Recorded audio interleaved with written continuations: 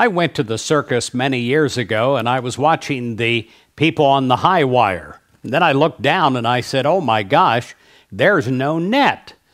And I suppose they did this to excite the audience and for the thrill, but maybe that's not wise. Maybe it's not wise in your life to go into your day and your challenges without a safety net. God will never let you sink under your circumstances. And God always provides you a safety net, and God's love will always encircle you and protect you.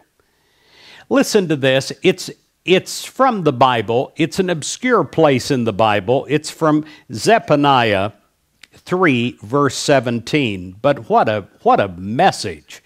It says, The Lord your God is in your midst, the mighty one. I love that. The mighty one will save. God will rejoice over you with gladness. God will quiet you with God's love. God will rejoice over you with singing. Know today that you have a safety net of God.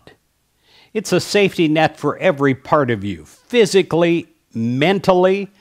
Oh, how many times our, our mind is walking on a high wire and it is without a net, and we might be thinking wrong or going in wrong directions in our thinking. And if we'll just take the time to go to God, God will provide us a safety net where we will be gently redirected and gently, God will turn our steps of our physical body into the right direction toward success. The arms of God will encircle us constantly during this, comfort us in times of adversity, in times of hardship. God will restore our strength. In times of sorrow, God will dry our tears. When we are troubled, or we feel weak in our human self, or even embittered in mind, God will be with us. God is as near to us as our next breath. The Mighty One has promised to watch over us and to keep us and God always keeps God's promises. In a world filled with adversity, God is the ultimate armor.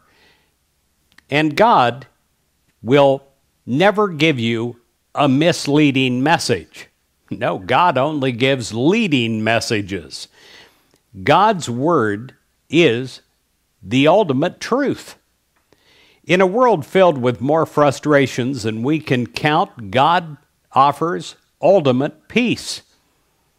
Will you accept God's love this moment in your day and God's protection and God's safety net and wear God's armor against the dangers that you face today?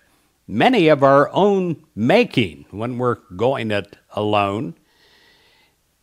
When you do, you live in a new, courageous way and you're trusting in God's unfailing love that is always with you, that never leaves you.